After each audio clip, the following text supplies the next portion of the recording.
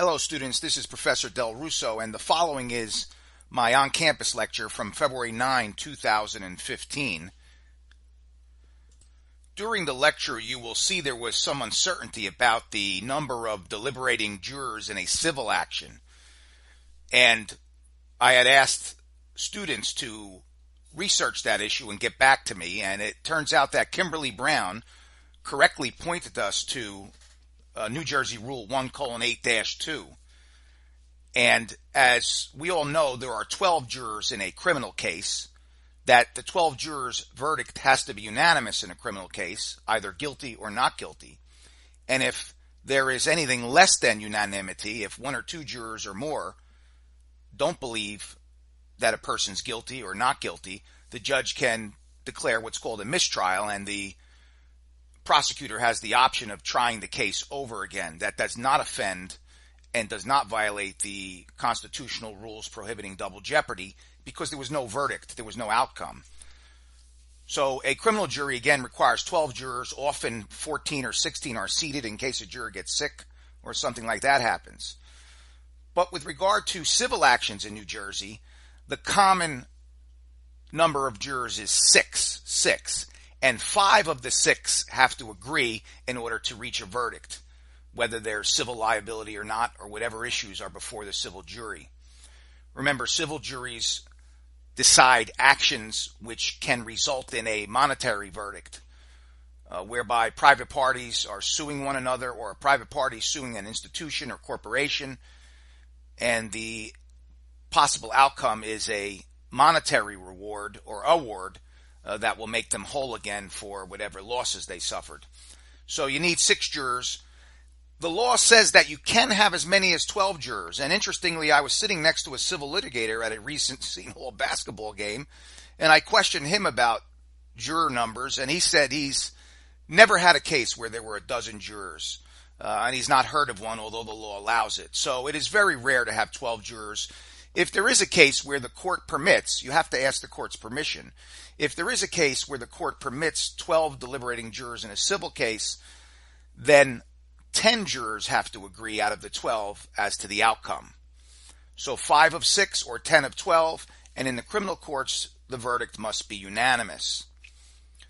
Now, there was a section on matrimonial law which I eliminated from the lecture. I'm going to create a mini podcast that addresses matrimonial law to the extent that you need to know matrimonial law for our class Children and Justice. It's going to be a brief overview of matrimonial law. And I cut that out and I will be making a separate podcast on that issue as well.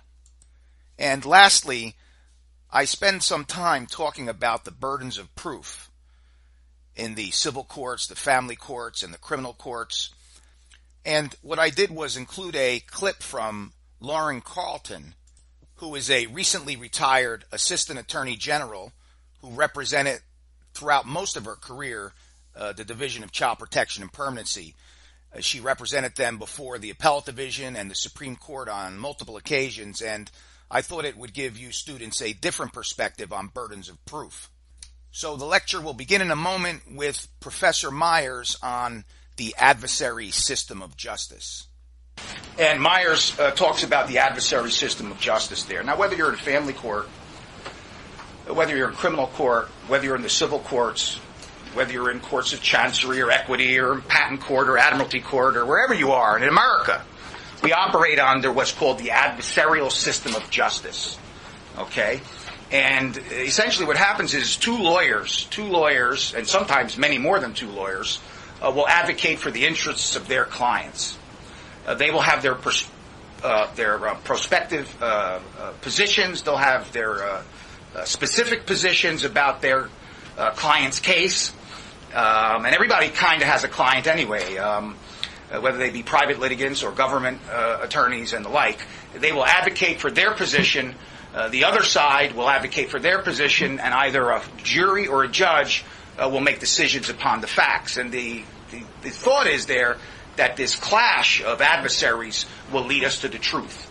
And the rules of ethics and the way the justice system is set up in New Jersey and throughout the United States of America operates a little bit differently in, in other countries and significantly differently in, in, in a few countries around the world.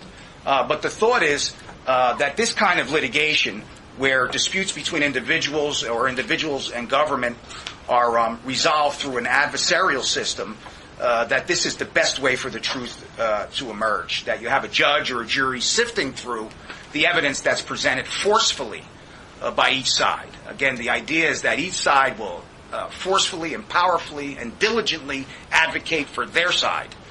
Um, and their adversary will forcefully dil- and diligently uh, argue for their side. And that this clash of, uh, um, of, of, attorneys and of facts and of law will, will result in um, uh, the truth. Now, who, who decides the truth? Well, that's the judge or the jury, right? The judge or the jury. Uh, they're the deciders of the facts. I talked about this last week when I talked about how uh, the trial system works. I was specifically trying to uh, share with you how the appellate divisions work in the federal courts and the uh, state courts.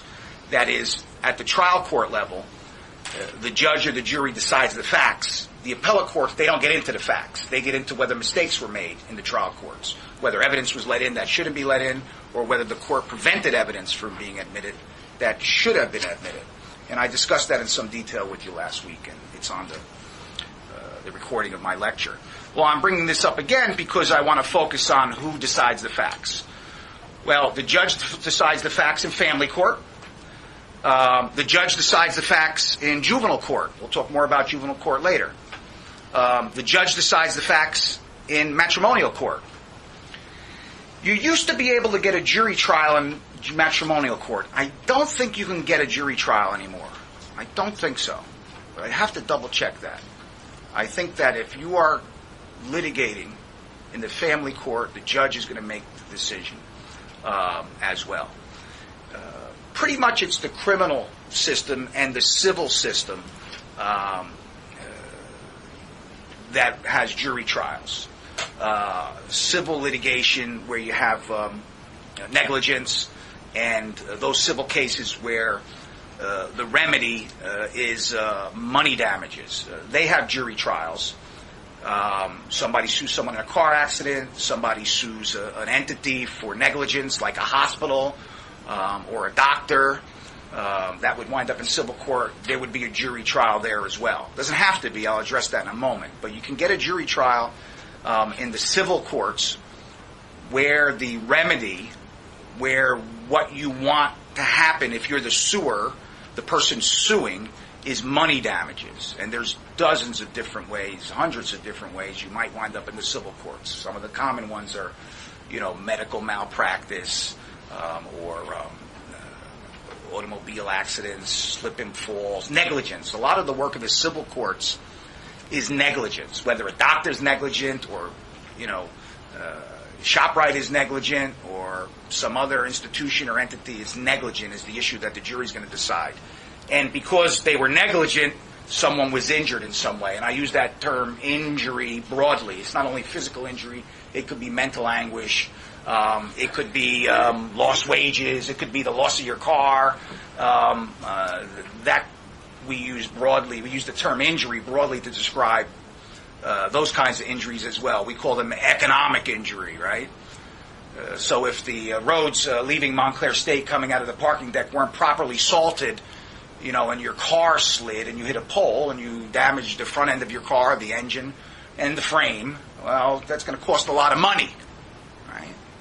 That would be an economic injury. Um, and the word economic is important because you can you can remedy, uh, you can make yourself whole uh, through the money. Uh, at the end of the day, if you win a lawsuit against Montclair State and the company that they subcontract with to drop the salt, and maybe the manufacturer of the salt because the salt wouldn't have enough chemicals in it to make it properly uh, uh, safe, uh, you might sue all those people, um, and you would sue them so that they would make you whole again. They would pay for the damage to your vehicle, and if you got hurt uh, you had to go to the doctor, you had to go to a chiropractor, you had to go to an orthopedist. Uh, all of those kind of injuries uh, would be recognized as well if you prevail.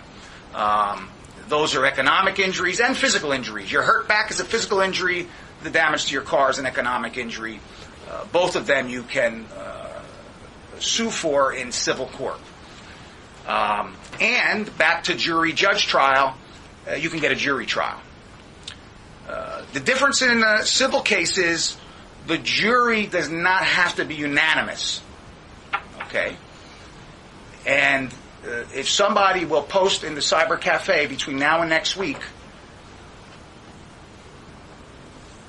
what the um, uh, numbers are in the jury's decision in the civil courts for uh, a negligence action, uh, we will learn something, and I'll share it with you next week. You won't get any bonus points, but I will praise you next week for giving us the answer.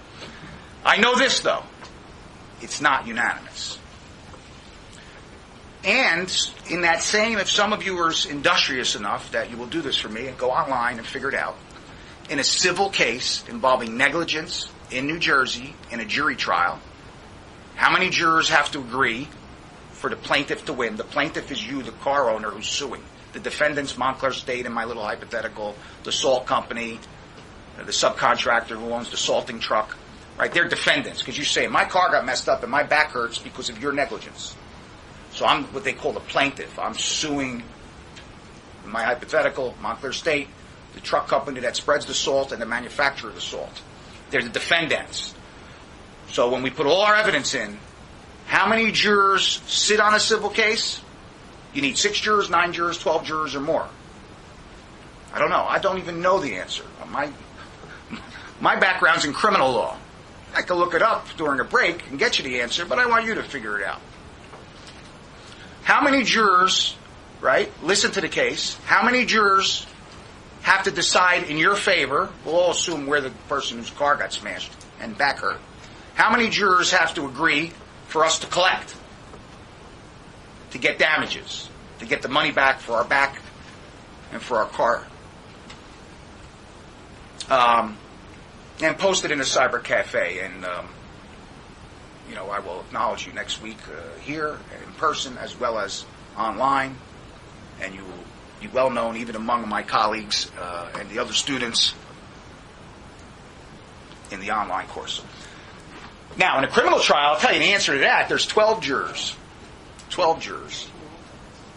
And alternates, yeah. And alternates. Thank you, Adela. Uh, they're not always two alternates, though, but uh, commonly there's two alternates. But let's just focus on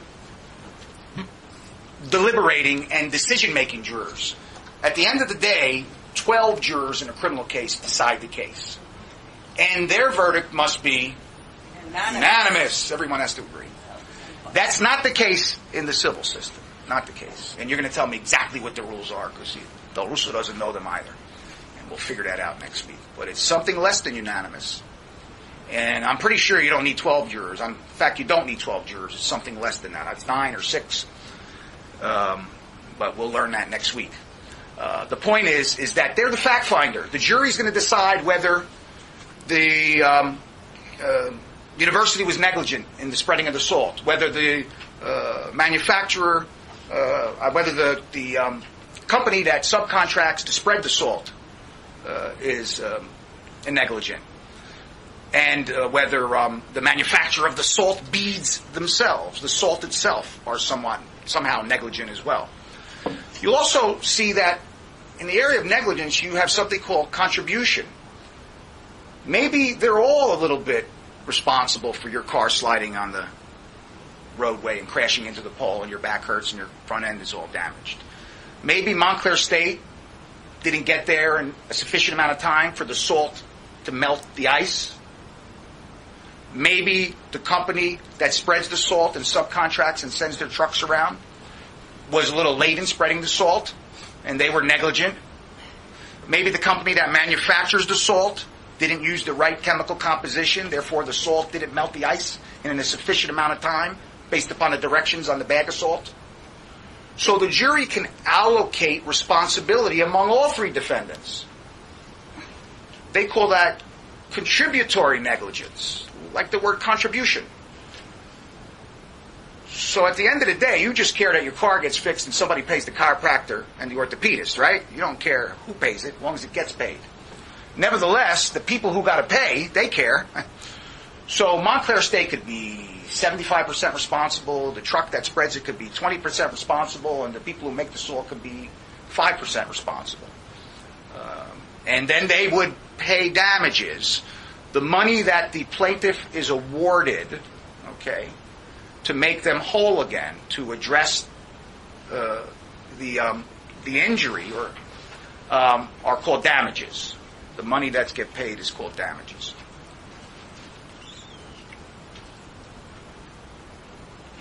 Now, we're talking about children in the justice system. We're talking about child maltreatment.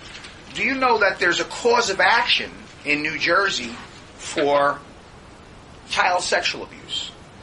And the problem is there's very rarely um, someone to pay damages, but a child who's sexually abused by her stepfather or sexually abused, you're more likely to get damages here in a foster placement.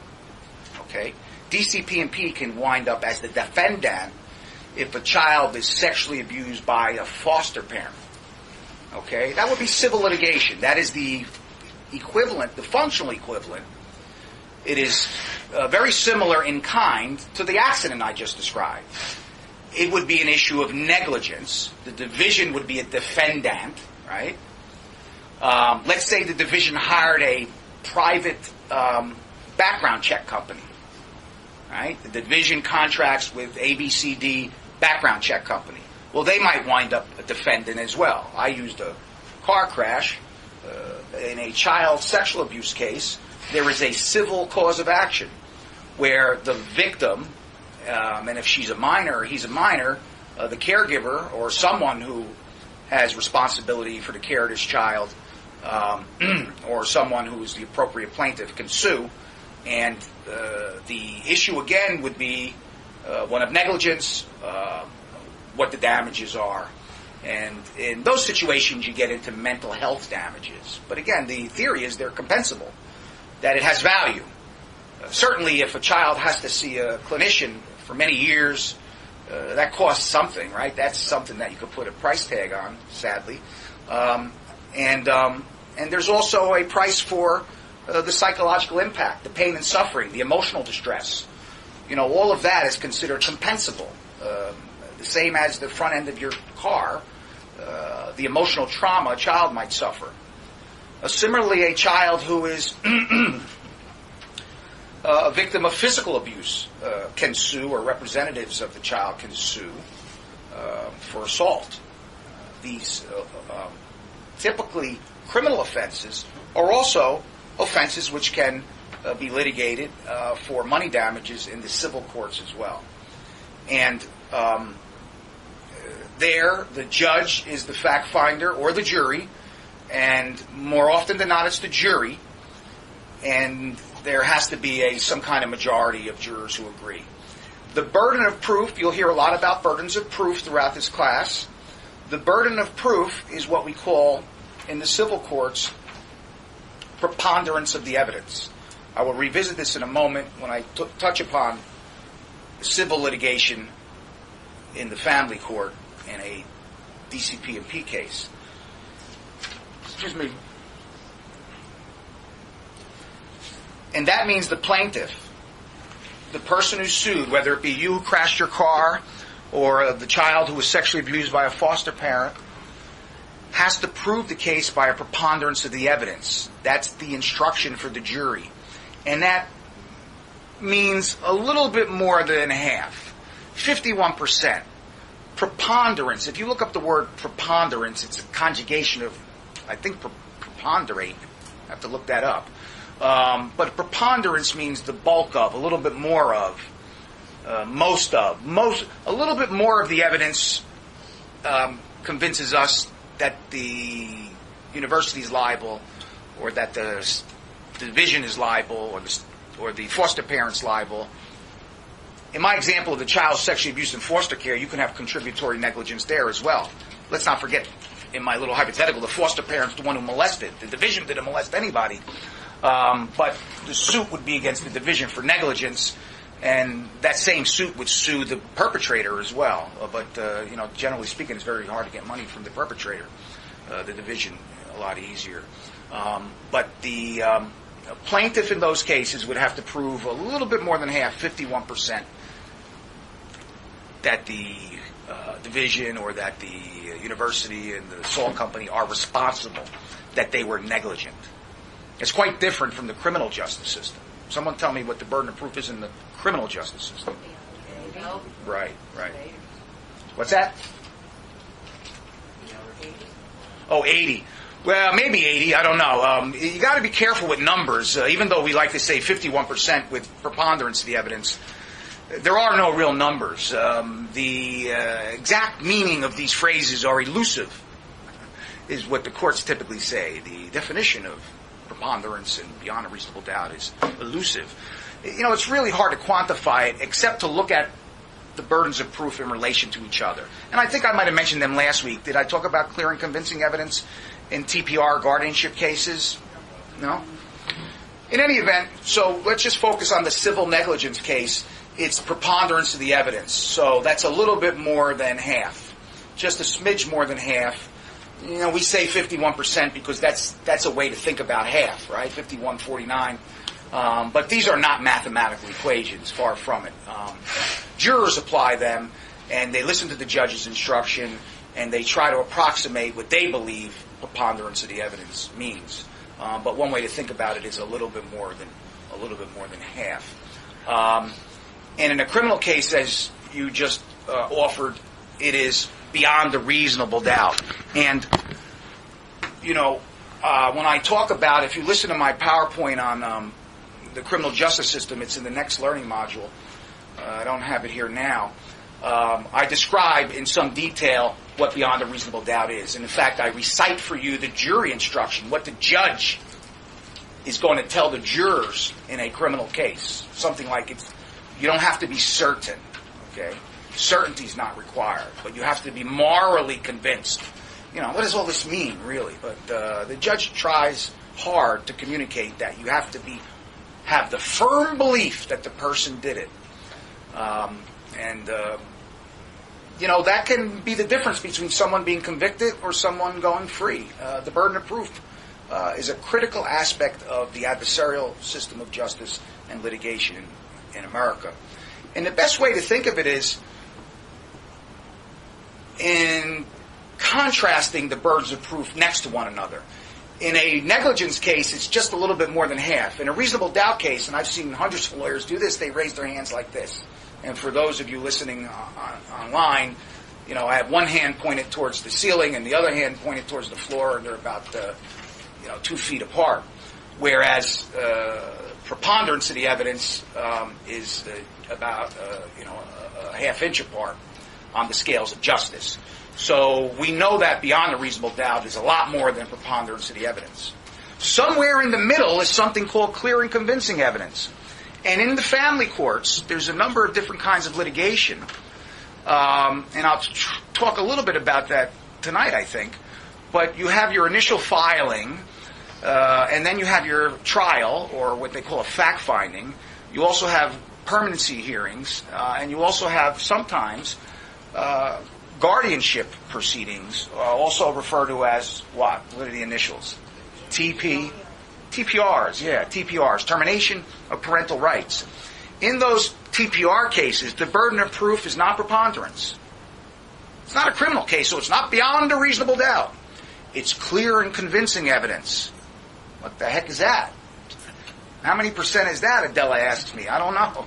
There's no, there's no. That's why you can't get into percentages. But um, if we could, let's say 51% for preponderance. Let's say 90%, well, even more, let's say 95%, which is very misleading. That's why I don't like it. Cases, but just to compare them, let's say 95% for criminal, clear and convincing is uh, 80%.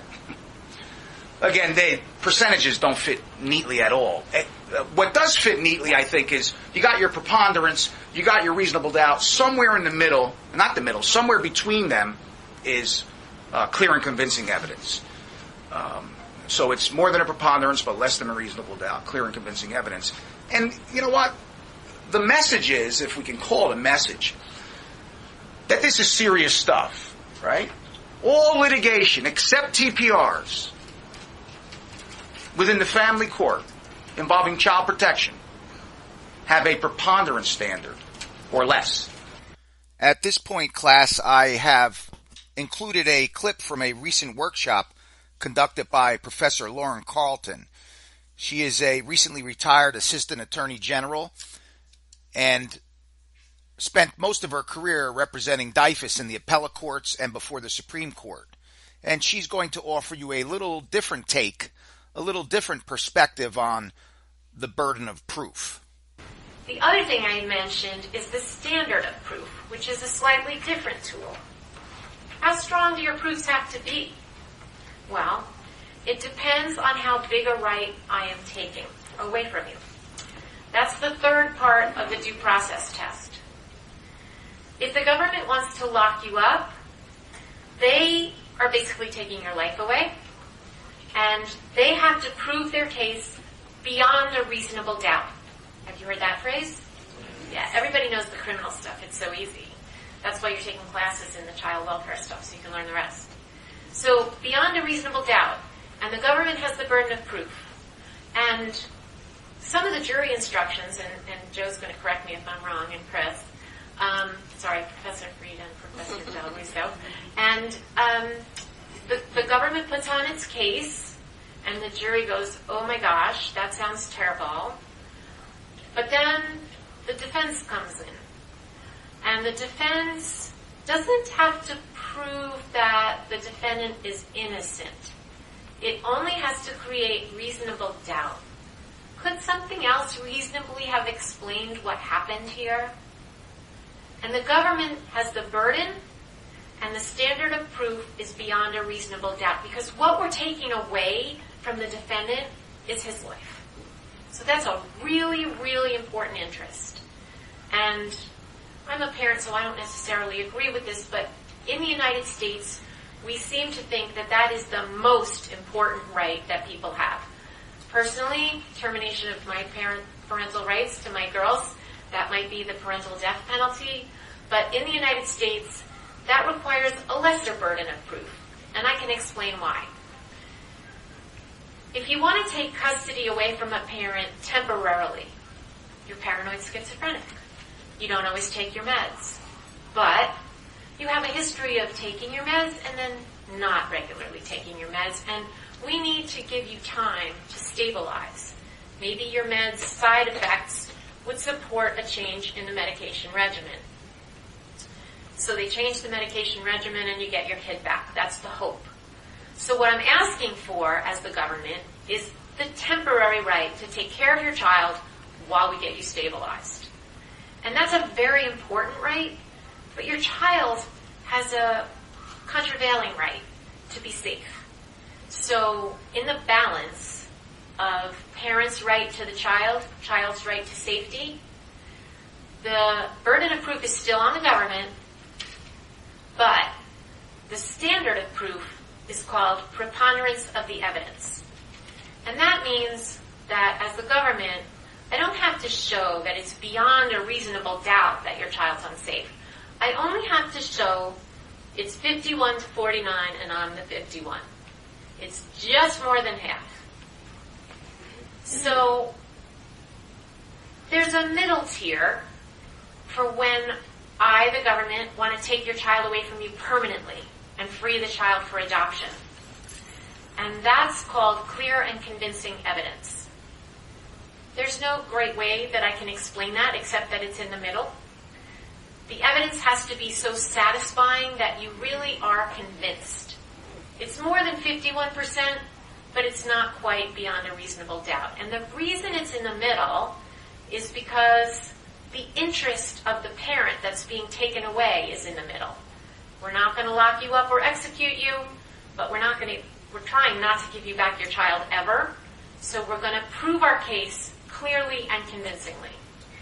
And the standard of proof is therefore an important justice tool that without it would create a much less probability of a fair outcome.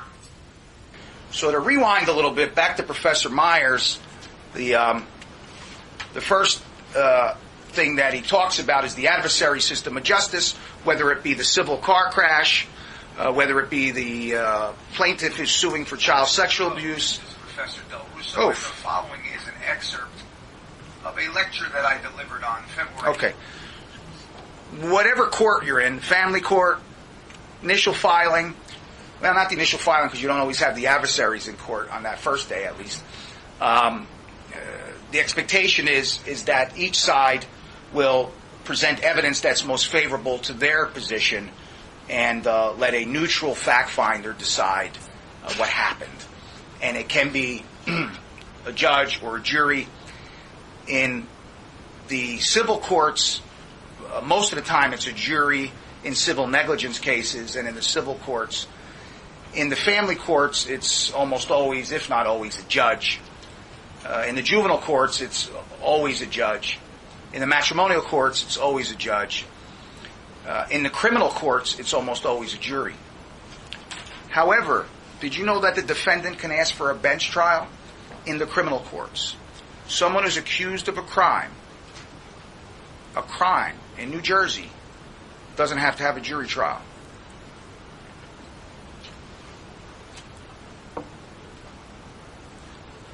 They can have a judge trial. The judge decides the facts, just like the jury would. One person jury, the judge. The judge. Does that conflict with the Constitution, the right to uh, try uh, jurors? Well, you have a right to a trial by jury, and no one's impinging upon that right. The person who chooses the judge trial has a right to a jury trial, so that constitutional right is preserved. That's a good question, though. Because if we said, no, you can't have a jury trial in this class of cases, or because, you know, you were born before 1970 or whatever, some arbitrary reason, you get a judge trial, uh, then we would, you're right, that would be a constitutional violation, and the defendant can sue in federal or state court in that situation and argue that he has a right to a jury trial and you haven't given him a jury trial. But um, th- think about it for a second, Abraham. If you ask for a judge trial and the court gives it to you, has your right to a jury trial been offended in any way? They says to you, Abraham, you uh, you can have a jury trial or a judge trial. Which one you want? And you say judge trial. Did you have a right to a jury trial in that situation? Yeah, because I offered it to you. You turned it down. So the answer is there's no constitutional violation. Um, if that decision was your decision, right? If it was someone else's decision, now what happens sometimes is you go in a judge trial and you lose. Then you say, "Well, I really wanted a jury trial, but my lawyer pressured me. I, I, I, you know, I fell out of bed that day. I wasn't thinking clearly. I didn't understand what the judge was saying. I thought I had a." You know, there's a million ways to litigate these things and, and argue that somehow your constitutional vi- your constitutional rights were offended in some way. But the mere fact that you got a judge trial instead of a jury trial, if it was your free and voluntary decision, it's okay in New Jersey. And Could, could that be challenged through, like, for example, your lawyer, uh, let's say you agree with your lawyer to go for that, and your lawyer goes and speaks on behalf of you, but later on you find out that, hey, the way the case is going is not right, and even you mad with your lawyer, you got rid of your lawyer, and now you want to change that decision on the basis that you didn't make it voluntarily court, it was someone who represented you, but now you want to claim your constitutional right that um, you didn't make it verbally that you don't want them to try it. So can you use that as a ground to get your jury trial? trial?